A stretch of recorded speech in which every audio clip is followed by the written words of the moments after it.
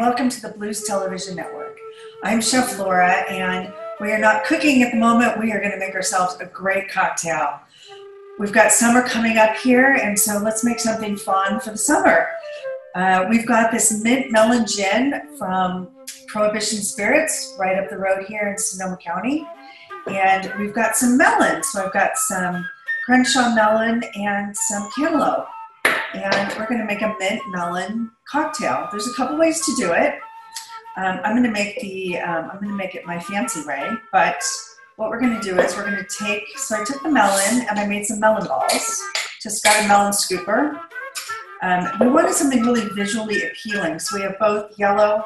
So we've got both color melons. And what we're going to do is we're going to start just by muddling. So I have some mint in there, and I'm just going to put a couple of the melon balls in there and I've got a couple leaves of mint in there and we are gonna muddle it, which means we're just gonna smash it around just to get out the flavors of the melon and combine the melon and the mint. You've got that smashed around. All right. And we're gonna put in a little bit, or maybe a lot, depending on how your day went, of some gin. So this is actually mint melon infused gin, so it's already got a little bit of that flavor in it, but we're just gonna add a little more. So um, you can measure or not, but I'm going to put in about two ounces of gin for me. And, uh, and then we're going to add some uh, ice. I'm just going to shake it up.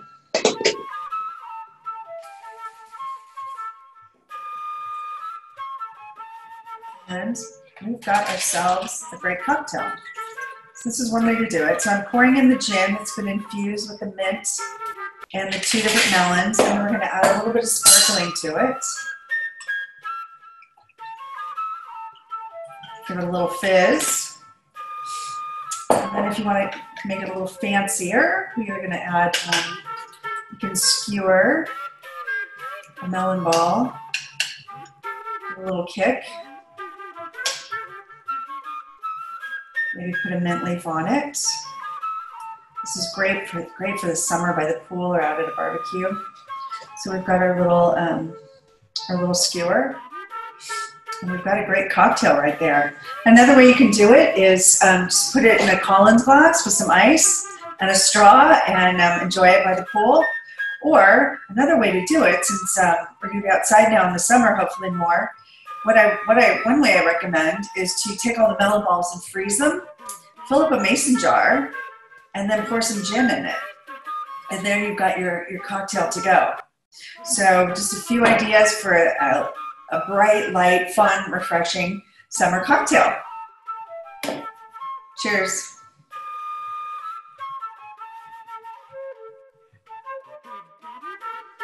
Oh, that's good. Let's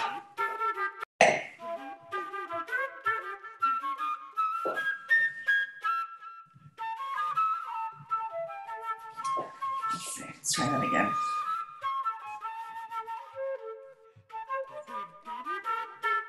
Oh, it's delicious. Perfect for a summer day, summer party, barbecue, have some friends over, and have your mint melon Collins. Tune in for more cocktail tips from the Blues Television Network. Cheers. Be coming, zooming in live to be with us to show us her famous biscuits. Um, so we are going to get started. Um, Regina, welcome. Thank you so much for doing this. Oh, you're welcome. Hi, Laura. So good to be with you. And my favorite city, San Francisco. Love it. So San Francisco misses you. We miss your oh, San Francisco. So we miss your blues. We miss everything. I do love being back home in Natchez. So it's been a great it's been a great time to be here. So so um, tell us. So you've got such an interesting background. Um, you started out in Natchez, and then somehow you went to Paris via Alaska. So how did that transition? Well, I grew up in Natchez, and uh, I always say I attended several Southern universities. I had a better time at each one. And my senior year, I went with a group of friends to Alaska with the idea of saving money to uh, to come back for my senior year. Well, I got there and um, I called my parents. You know, there of course there was no Skype and no Zoom and no cell phones and uh, internet. That was 1977, and I called my mother and I said, I have the best news. Uh, I'm not coming back to finish school. I've taken a job in the bush of Alaska cooking for eight men at a construction camp. And I'm going to save money and go to cooking school in Paris. Well, they were not thrilled, but there wasn't a lot she could do. There were no e tickets. And uh, so I did it, and it turned out to be a great experience. And I cooked in a place called Igiugig and Chignik Lake and Kokhanok, and I worked hard and saved some money and then um, went to Paris. And right before I went, I met my husband. Uh, his girlfriend at the time was sweet enough to introduce the two of us, and we've been married 39 years, so it worked out. But um, anyway, just that was a great experience. And but you know what's interesting is uh, now I've kind of gone back to French cooking because when but when I moved to San Francisco, I went back to my southern roots and uh, Regina's at the Regis and Shishi Beignet and everything had a southern flair. And then, of course, 25 years ago, I opened Biscuits and Blues, and uh, Stephen Soon is the owner now. And uh, he's trying really hard to get it reopened after they've had so much problem with the Jack in the Box flood and now COVID, but uh, he's, I know he'll get it open. He's very committed to preserving the blues, but I'm very proud that I started something that has sustained blues for 25 years in the Bay Area. It was such and a. I'm looking across the street. I'm at Regina's Kitchen, and my wine bar is behind me. But directly across the street is Biscuits and Blues. I helped my brother open a Biscuits and Blues here 22 years ago. Oh, fantastic. Oh, I see biscuits and blues every day out my front window. But Oh, how wonderful. So, um, our founder of Blues Television Network uh, performed many times at Biscuit and Blues, Oh. our own E.C. Scott. She's fabulous. I love her to death. And what a great connection when you called. This is great for me. And talk about a walk down memory lane. And I mean, she always drew a crowd and she was with us in the beginning and, you know, has hung in there with us for years. And I'm so glad to see the blues still so alive in the Bay Area. It is, it is because of her. So, well, you know, when she first called me about doing a show, she said, You've got to make Regina's biscuits. They are unlike anything you've ever had. So, to finally be doing this is, is so exciting. Well, and I always say my biscuits are a combination of growing up in Natchez, Mississippi, and then going to school in Paris because I learned the technique of laminating. And, you know, it's, it's, it's funny. I said when I started cooking French food, my southern roots would kind of creep into some dishes. You know, I can't, some ingredients like corn and pecans that are not typically French, but I'd find a way to work them in there. And then when I started making my biscuits, um, I had never made a biscuit until I was in France, which is funny. Oh, you never made them at home? I never had to make a biscuit in Natchez. Everybody around me made them. And we had them, you know, every morning for breakfast and many times for dinner. But that was the first time I made it. And so that French technique of uh, laminating, because I was learning how to make croissants and different pastries, just kind of creeped its way into my southern roots of, you know, I knew I'd seen biscuits made thousands of times. I knew I could do it, but then the technique developed and, and the whole technique, and we'll talk about it. And it's unusual. My recipe is unusual. And it's been, it's kind of a reflection of my life and travels. The uh, margarine, you know, when I grew up, biscuits were made either with lard and then Crisco. And uh, Alberta Fitzgerald, who cooked at my house, who was a great cook, would make it, and she would put little chips of butter in them for a little richness. And so when I went to make them for the first time in Paris, I couldn't find Crisco and I found margarine. And I did three parts margarine, one part butter, and they came out so good. It's still the original recipe I did 40 years ago for the first time. You know, I was able to find buttermilk, I was able to find baking powder. So my recipe, and I'm sure you'll post it, is you know, four cups of flour and a quarter cup of sugar, a quarter cup of baking powder, and then I take three sticks of margarine or three quarters of a pound of margarine and I cut them into thirds, big chunks. And, um, and we'll come back and talk about the, um, we'll talk about margarine a little bit down the road here. But I cut the margarine in big chunks and then the butter is firmer and I cut the butter into tiny pieces. So I just little, I did little half inch dice. Yes, that's fine. Perfect. Okay. Great. And then it's interesting because the tea towel came later and was for me a game changer because I used to make them and they made such a mess on the counter. And I had a lovely lady, Janet Tyler, who was my assistant for 14 years at Twin Oaks. And every time I cook and make a mess, she would clean up. And one day we were having a party and I decided, oh, I need to make some more biscuits. And there was kind of this sigh, like, I hate this job and I'm so going to quit if she makes another mess. And I went and got a tea towel and made them on the tea towel to not make a mess. But what was great about it is I wasn't touching the dough, so the fat stayed colder, and I was able to use the towel to, I would roll and use the towel to fold and turn to do my eight folding and turns, which we'll, you'll learn about. So anyway, it's just been an evolution of 40 years of biscuit making that. And then 14 ounces of buttermilk. All right. And I put everything in. Yep. And I did stir the dry ingredients for just a second. Okay, I'm gonna, I'm right behind you. So Yeah, I'll, I'll I'll in, set it up. and then I'm putting beef sugar in. And now, Regina, I did them all by weight because your recipe has um, So, yeah. and it also has grams. You can do by weight. And the reason my recipe is so detailed is my sweet friend Kim Severson from the New York Times followed me around and made the did the recipe. And it's so perfect because I'm not that much of a perfectionist. So I just scoop with a cup. I do four cups and I use, you know, just the dry measures and do it and 14 ounces of liquid and you know, and the butter and margarine is already cut into quarter pound sticks. So, so it's Well, I had my I had my ruler out, cutting half inch, half inch. Right. Yeah, good. And what I do, you can get a paint stick from your paint store for free, and they're one inch, and I use that.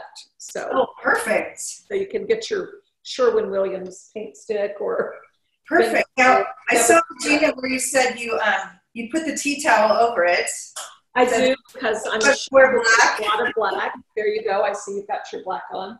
So I do that. I hold the tea towel over, turn it on low, and one Mississippi, two Mississippi, three Mississippi, four, five, six, seven, Mississippi, eight, Mississippi, nine, Mississippi, ten. That's it. Okay, so I'm. Yeah. I'm Mississippi or San Francisco or Natchez, but And so my tea towel, I have the recipe printed on because I do, we do a lot of biscuit classes in Natchez and uh, I've had, uh, I had a great, I've got to get the video up on my YouTube channel, but Wanda Sykes came and took a biscuit class. oh, how fun! Uh, Allison Janney and Ashton Kutcher brought his two children and anyway, I had some fun biscuit classes. But um, so people always come and you know want the tea towels, so I just went ahead and printed the recipe on it. All right, so when I made them last night, by mistake, I started to mix it without the buttermilk. And fortunately, after four seconds, I checked it, and then I poured the buttermilk back in, and I think it's it was still okay. Oh yeah, but uh, the key there there's some things that are really important. One, um, the margarine, which we talked about. Um, they, they make margarine in tubs, and you know the other thing is people just have this thing about margarine. They they kind of freak out. I call it the purity police, and they go, "Oh my God, you know, margarine is a terrible thing." Well, it um, it's zero trans fat. It doesn't mean it's healthy, but it's zero trans fat. But if you can't find the Land O'Lakes stick margarine that I use, um, I make vegan biscuits for friends, and you can use the Earth Balance or vegan sticks, butter sticks, they or buttery sticks, they call them and it works fine. I also bought the spread. I just I wasn't sure. Yeah, and the spreads don't work because they're whipped and they're soft, and you don't get and and we'll as I'm rolling and talking about it, you'll kind of understand why you need the chunks. Okay. So I'm pretty generous with the flour on the tea towel. Wait, let me catch up. I'm gonna mix. So I've got everything in, and I count. Oh, okay. I'll wait for you. I count to ten. Count to ten one San Francisco, two San Francisco, there you go. four, five, six, seven, eight, nine, ten. Oops. And there it is. Voila. There it is. So the biggest mistake people make is overmixing. Okay. Um, you know, I, I'm from a big family. I have five sisters and three brothers, and wow. there were a lot of biscuits consumed at the Trosclair house growing up. But uh, one of my sisters one day said, "Oh, uh, you know, I your biscuits just didn't come out right." And I said, "You know, did you do this? Did you do this?" Going through the recipe, and I said, "Did you count to 10? She goes, "Yeah, but it wasn't enough," and I mixed it again. You don't want to overmix, and it's okay that it looks rough and not mixed. That's a good thing.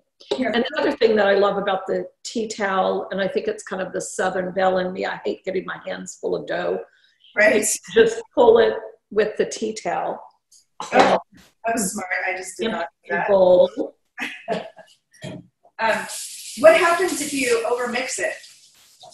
They're not as flaky. Okay.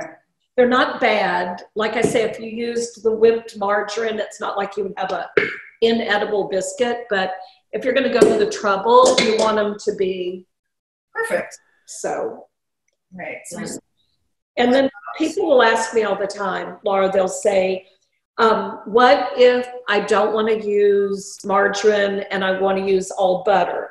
Well, if you do that, you're going to have a shortbread. They're going to be really crumbly.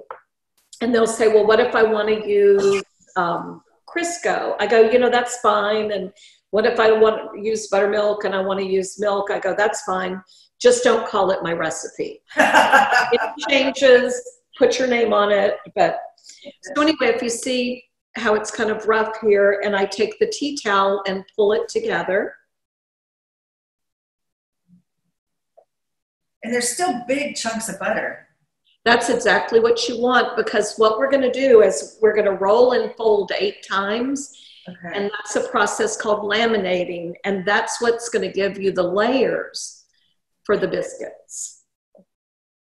So there's it's still pretty crumbly. There's some loose flour. Yeah, so just keep it'll all get incorporated okay. as you roll and fold. Like I've got some little loose around here. Oh, you know what? I said I always forget one thing. How about my rolling pin? I've got one down there. I think I would remember every detail. I said, I feel like I've made as many biscuits as McDonald's has made cheeseburgers. Probably more. So be fairly generous with the flour. Okay. And the other thing is, I never flour my pin. You flour the fat of the biscuits. Why is that? Because it won't stick. You can flour your rolling pin all day, but if it's getting on, if it's hitting the fat eh, with the buttermilk, it's going to stick. Okay. So flour your fat, not your pin. All right, and then you just start rolling to get, and so there's big chunks of butter. This is amazing. Yeah, and but you'll watch as we roll and fold eight times. Those what you'll start to see, and we're only at the first roll, and then I take you take your towel and bring it in and fold it in thirds and just press the air out. And you know, Laura, the beauty of this recipe is you make them, you cut them out and you freeze them. They never go straight into the oven. They are frozen and then they're put in a muffin tin and baked. And so you can always have them if you make them and you know you make your biscuits then you cut them out and freeze them and just take them out whenever you want them and i love having that luxury at my restaurant all right so what i did fold in thirds and then a quarter turn Okay. Um, why wouldn't you put it straight into the oven? they'll spread out because of the fat Okay. and they just don't come out as well. And again, everything was discovered by accident. I used to make them and put them right in the oven. And, and again, not that they were bad, but they looked, they would kind of spread out and they would be real flaky, but they would spread out. They weren't so pretty. Mhm. And then what happened was um, at my restaurant, there was such demand, I had to make them and figure out how to freeze them. But I would take them out, let them thaw a little bit. And then when I would do that, I would, um, one night we were really busy and I didn't have time to thaw them. So I decided to put them in a muffin tin, thinking that the heat from the metal would help and they would cook faster. They came out so good, then that was like, okay, that's that's a keeper in the recipe. Oh, And so I always freeze them and cook them that way. And it keeps the shape perfectly. Yeah, it does. And this is only number two. So this is just to me when um, in cooking school, this was like making puff pastry. It's the layering. So are we creating Right. layers here?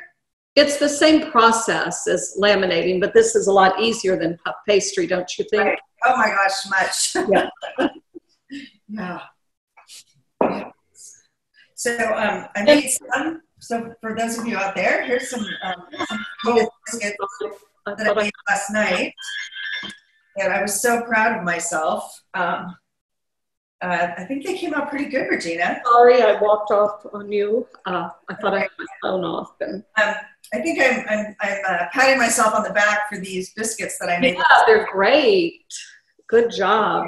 Thank you.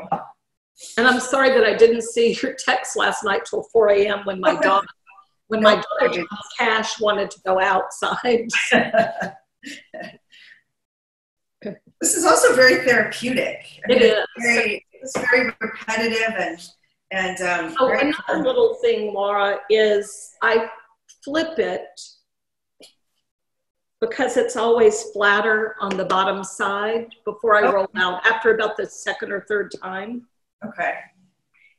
And again, I do, you know, you see the big pats of butter, but what you'll see is, and you made them last night, you'll notice the more you roll and fold, those big chunks of butter and margarine turn into a ribbon effect, and that's what's giving you your flaky biscuits.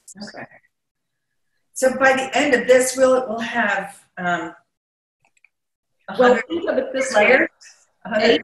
You're doing it eight times and and you know folding in thirds so you've got 24 layers Okay. And that's what gives it that lift and that beautiful flakiness. yes and people have often commented that it seems like a lot of baking powder but again that is the reason is because it is so heavy in the fats you need that extra lift Okay. and then the sugar just cuts that metallic taste so Got it. So you made these at Biscuit and Blues in San Francisco. oh yes and they still do This has to be the, the most uh, ordered, popular item on the menu, I'm assuming. Yeah. I, I ordered it every time I went there. What were some of your favorite memories from Biscuit and Blues? oh gosh um oh It's like, it's like asking you to name your favorite Yeah. child. No, I mean, so many Bay Area artists that would play all the time. Of course, EC and Tommy Castro and, um, oh my goodness, uh, I can't believe I'm doing this. But Charles, what was his name? Older Charles Charles and his wife Ruth, who played with Bonnie Raitt. I'm bad at last names all of a sudden. Anyway, one of my favorite memories is there were very few people that played the club that had like costume changes. And he was an older entertainer and he had these beautiful sparkly jackets. And we were in the back while he was playing, trying on his clothes and memories of, you know, different people that came in. Um, during the years to see. Christopher Reeve come in? Christopher did not. Um, I when I knew him, I had Regina's, uh, not Biscuits and Blues at that time, but I knew he and Dana from Regina's at the Regis, Okay, which was right around the corner. right. And, uh, great memories there. And he and I, oh, I guess because we were talking about North Beach, Right. a great memory with him. Uh, we would take the cable car to North Beach and go and play pool at the Savoy Tivoli and Ah, and Tosca and have drinks. And I just love North Beach. My husband and I lived there before we had children. Then we moved out Upper Haight and just great memories of that. I love North Beach. In fact, my favorite dish that I'm doing here at Regina's Kitchen in Natchez is uh, white bolognese, which is a North Beach memory, and cioppino. right. You're famous for your cioppino. yeah, people are loving it, and I just, you know, it's a great memory. The only thing is, I wish I could get mussels here. You know, I have to adapt to the Gulf seafood, which is great. We have beautiful wild caught Gulf shrimp and red snapper, but um, I do love me some mussels and clams in my cioppino. And Can we ship them to you? Yeah, I can, you know, you can get anything on Amazon now, but I have to say, shipping shellfish is not real comfortable. A little, yeah. That uh, So I've lost track of my turns. Where are we? You know, the funny thing is, I think I have just, I think I'm on number five or six. So I'll, Can you I have the edge. I'll kind of tell you, I have the edge of knowing by looking at it. Uh, but, and you'll get to that. You probably can tell. But you see, it starts getting so much easier to work. And, and I can look at mine. And when you don't have the big chunks, you know you're there when you start seeing the ribbon effect. Can So you can you fold it too many times? Is it possible to overfold it? it's pretty hard to overdo it because you get tired of it at some point. You go, okay, this is enough. But, but no, it's um, um, so tell us about um, Twin Oaks. well, Twin Oaks, we've now sold. We've downsized. Um, but for 19 years, I did cooking class weekends. Uh, it's a historic home. And when I decided to move home to raise my boys, um, I didn't really want to be out of the culinary world, but I wanted to be a, a stay at home mom. And um, so I started writing cookbooks. And um, I see you've got Twin Oaks, Regina's Table at Twin Oaks, which I wrote there. So I wrote cookbooks and I did cooking class weekends. And many of my customers and friends from the Bay Area came through the years to see me and to take classes or just come and hang out for the weekend. Our mutual friend Jody Chase has Yes. visited many times, and uh, she's overdue for a visit, by the way, if you see her.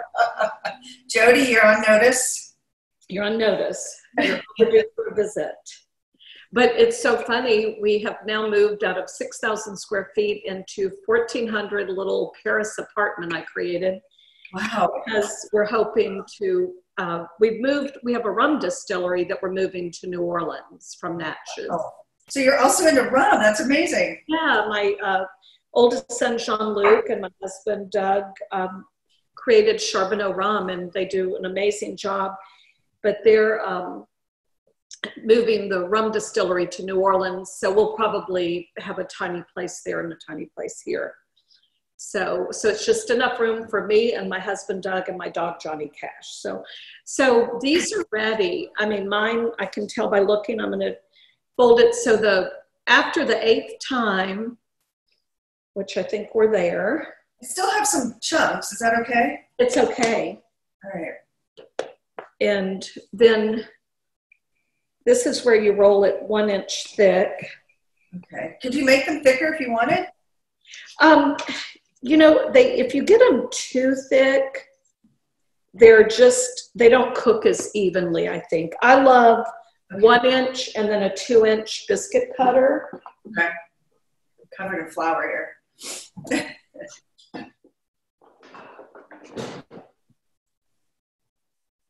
And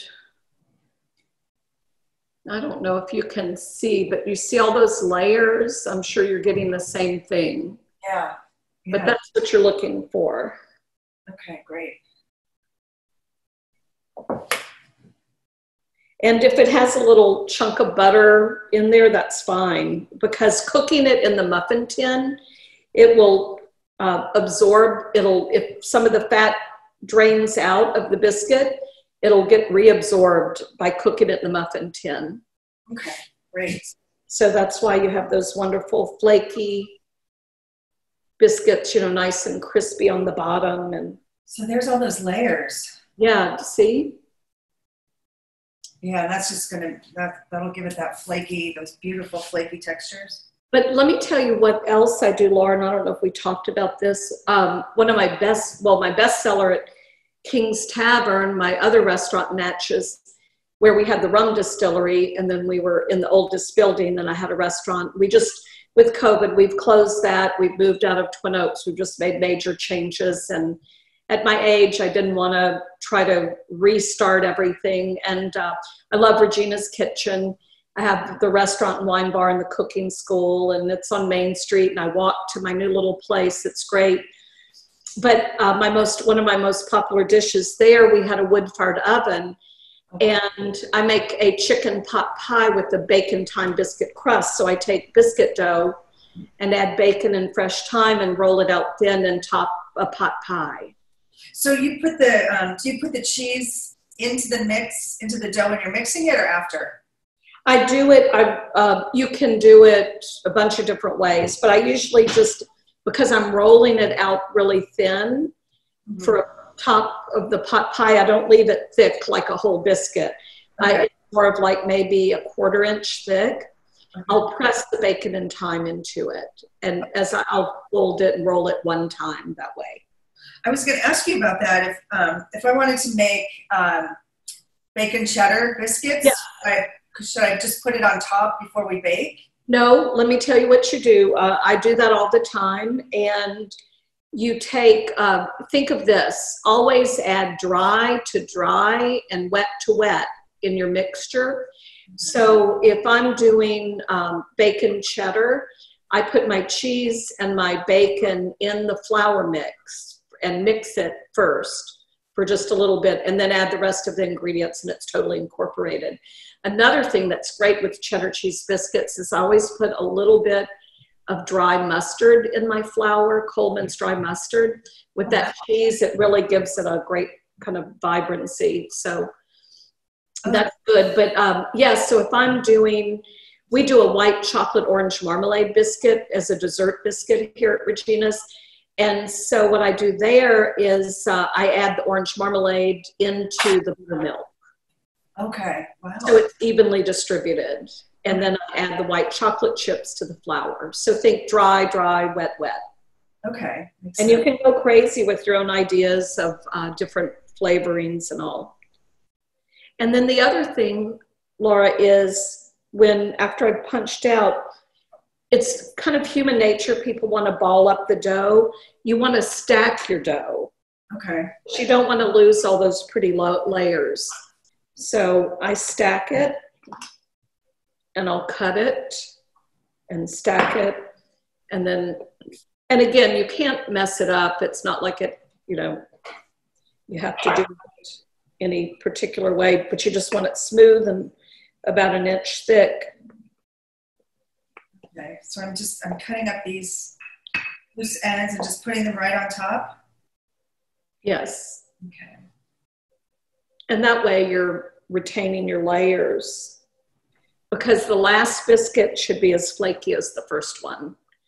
So if you don't overhandle your dough, but it is, I've watched people so many times in my classes, human, human nature, they want to take dough and like ball it up. It's like, no, no, just be patient. Going back to our childhood youth of Play-Doh. I know. and really with typically when I do have little ones taking biscuit classes, at some point we just let the remnants be Play-Doh because that's Now, do we roll these out? yes. So I stack it. Well, what you do, yeah, stack it and flour it and roll it. And if it's not very, if it looks kind of rough, like a lot of seams, I just fold it over until I get a smooth top.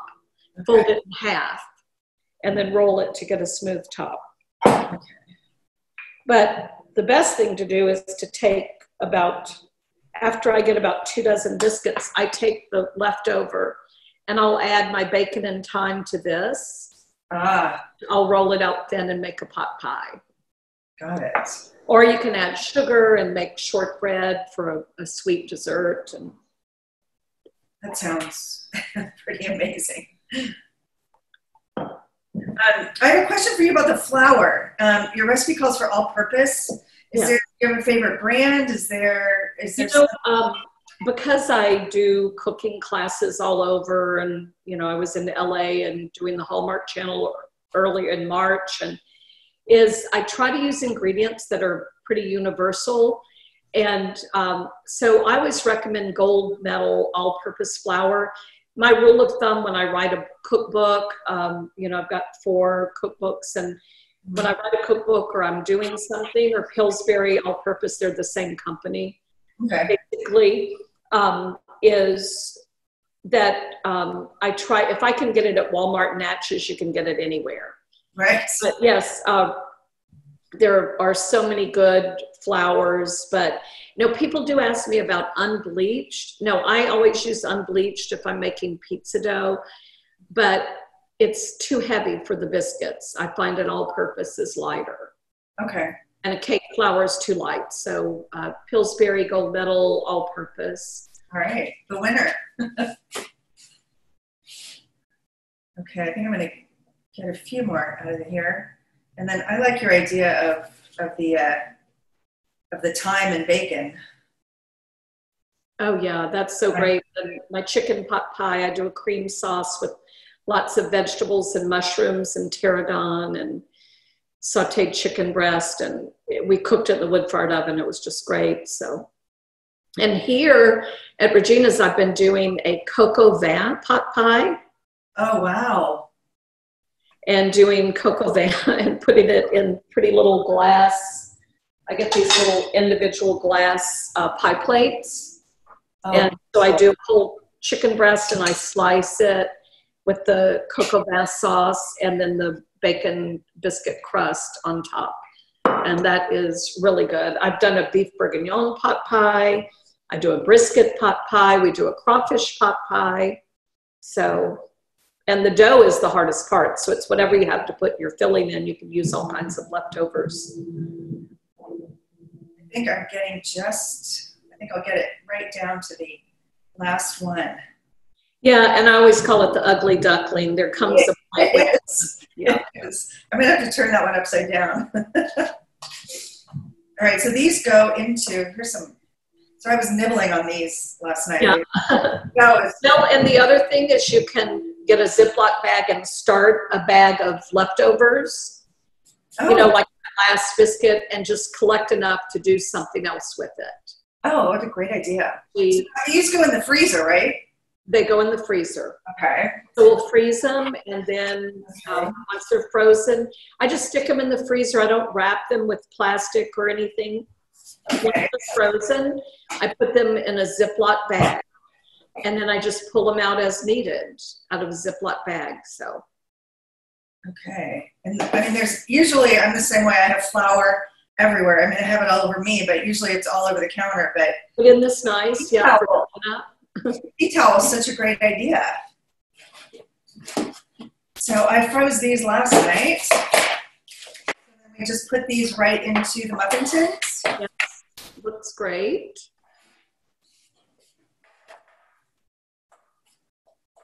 And That's stick them in right. the freezer to a 350 degree oven, about 23, 25 minutes.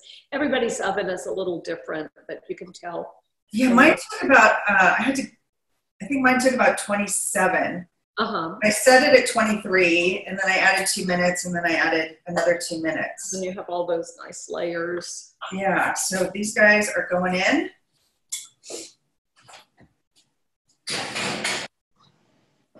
And then the magic of television. Voila! From Mississippi to San Francisco, like that. That's great. Amazing. Regina, thank you so much. Welcome. Give EC a big hug and kiss for me. And I love the Bay Area. So if you're, anybody's visiting Mississippi, don't come without coming by to see me. So I miss you all. We miss you. So wait, before you go, um, we can buy your tea towel on your store, right? Yes, reginaskitchen.com. Okay, and then we'll post, we'll post the recipe, and um, and you have some other things on your all your books are on your website.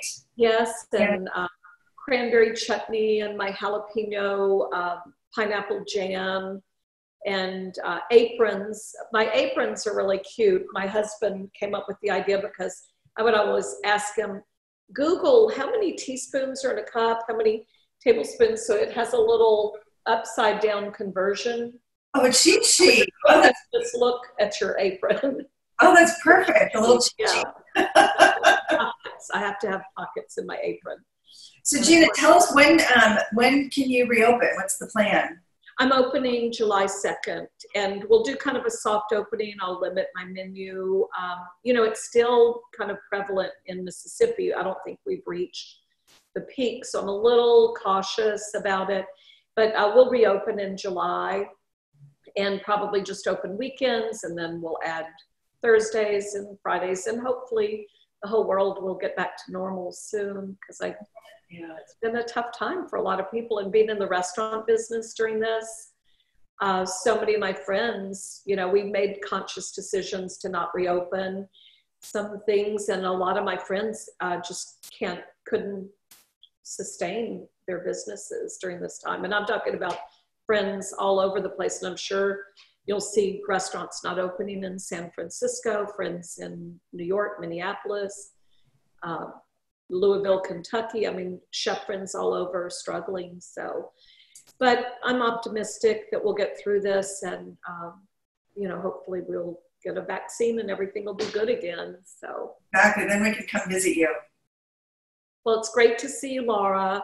You too. Thank you so much for being with us. It's such an honor. Hope to see you in Mississippi. Come visit. I will. We all will. Bye. Thank you so much. Bye bye. Bye bye. I'm going to dig into these now because yeah, there you go. dying.